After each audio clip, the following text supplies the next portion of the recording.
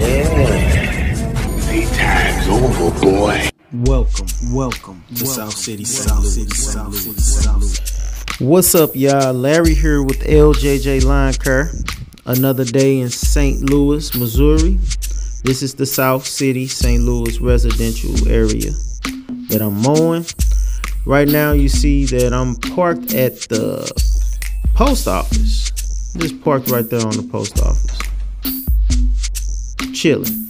About to let down the 36 inch Toro Pro Line. It's a zero turn handle. Of course, you guys know that.